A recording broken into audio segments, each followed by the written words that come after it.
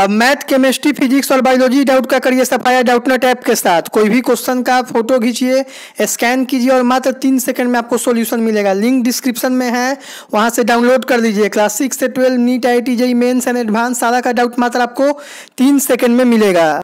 Doubt हो तो doubt नट करें। लिंक डिस्क्रिप्शन में वहाँ से डाउनलोड कर लीजिए डाउट नट ऐप को। डिस्क्रिप्शन में व्हाट्सअप नंबर भी है। वहाँ से भी आप मात्र दो सेकंड में अपना कोई भी डाउट का सॉल्यूशन पूछ सकते हैं। Hello students welcome to on YouTube channel any time Padhai Mantra.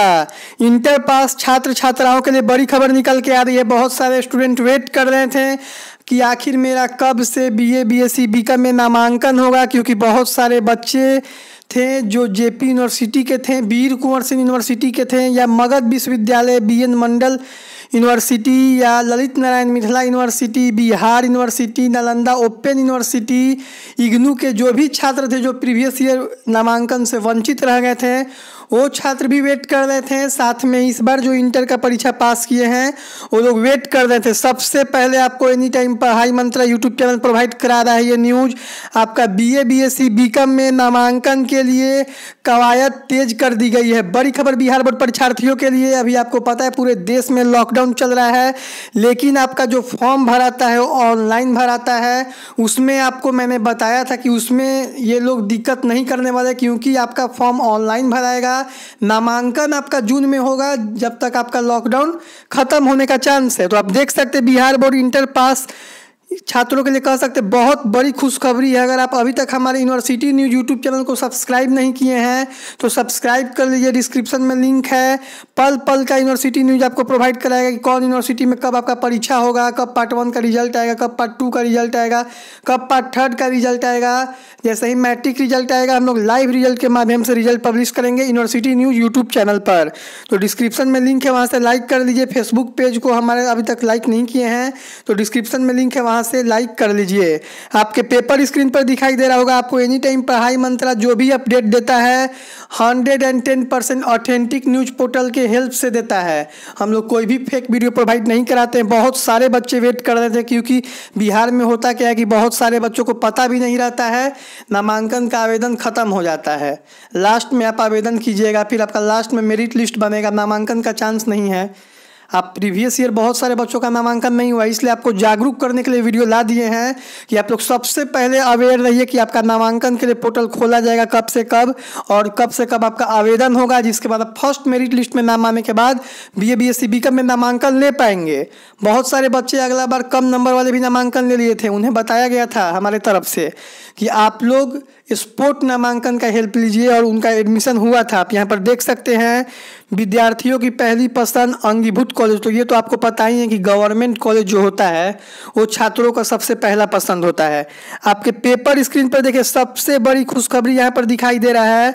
Lockdown की स्थिति में वीर कुंवर सिंह विश्वविद्यालय प्रशासन ने स्नातक पार्ट वन में नामांकन की तैयारी शुरू कर दी है। ये देखिए, ये वीर कुंवर सिंह यूनिवर्सिटी आरा के लिए ही नहीं है, ये मगध यूनिवर्सिटी के लिए भी है, क्योंकि सबका नामांकन जो होता है, वो यूनिवर्सिटी मैनेजमेंट इंफॉर्मेशन सिस्टम के तहत होता है। ये लखनऊ का कंपनी है और सब यूनिवर्सिटी पे एक ही बार ये अपलोड करती है डाटा इसके बाद आपका फॉर्म भराना शुरू हो जाता है। जैसे मान लीजिए भी के शुरू करेगा तो आपका मगध भी शुरू कर देगा बी एन मंडल भी शुरू कर देगा।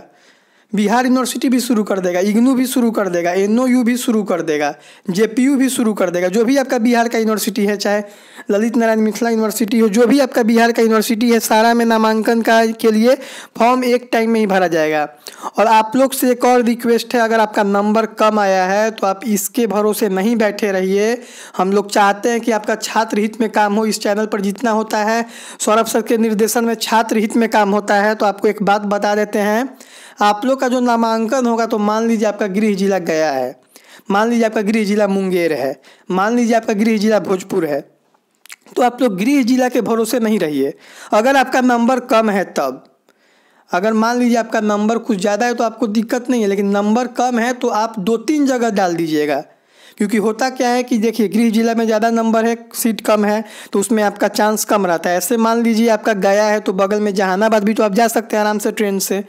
आपका एडमिशन होना मेन प्राथमिकता है, इसलिए प्रीवियस ईयर बहुत सारे बच्चों का नामांकन नहीं हो पाया था। इस वीडियो को जितना हो सके आप लोग शेयर कर दीजिए।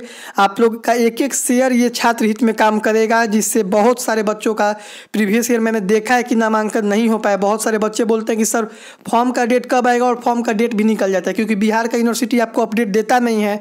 तो इसको जितना हो सके शेयर कर दिए जिससे एक एक गाँव का भी परीक्षार्थी को पता चल सके कि ग्रेजुएशन में स्नातक में फॉर्म भराने के लिए कवायद तेज कर दी गई है। आप यहाँ पर देख सकते हैं, छात्र कल्याण अध्यक्ष ने बताया कि विश्वविद्यालय प्रशासन ने स्नातक पार्ट वन सत्र 2020-23 में ऑनलाइन आवेदन करने की प्रक्रिया एक मई से शुरू होगी। बहुत बड़ी अपडेट। एक मई से आपका ग्रेजुएशन में नामांकन के लिए आवेदन पोर्टल खोला जाएगा। यूनिवर्सिटी मैनेजमेंट इंफॉर्मेशन सिस्टम के तहत नामांकन होगा। मैंने यहाँ जो भी आपको बात बताया है, उस बातों को ध्यान से सुनिएगा। अगर पूरा फॉलो कर लेते हैं इंस्ट्रक्शन को तो आपका नामांकन होने का probability eighty two ninety percent बढ़ जाएगा। देखिए, इसके बाद लिखता है, तीस मई तक आपका चलेगा। देखिए, एक मई से आपका नामांकन स्टार्ट होगा और तीस मई तक चलेगा। उसके बाद आगे लिखता है, नामांकन की प्रक्रिया जून माह के अंतिम सप्ताह में, यानी 30 जून तक पूरी कर ली जाएगी। तो आपको पता है कि मई में ऑनलाइन आवेदन होगा। इसमें तो लॉकडाउन का कोई इशू है नहीं। जून में आपका लॉकडाउन हट जाएगा, उस समय तक आपका ये लोग नामांकन ले लेंगे, जुलाई से क्लास स्टार्ट हो जाएगा।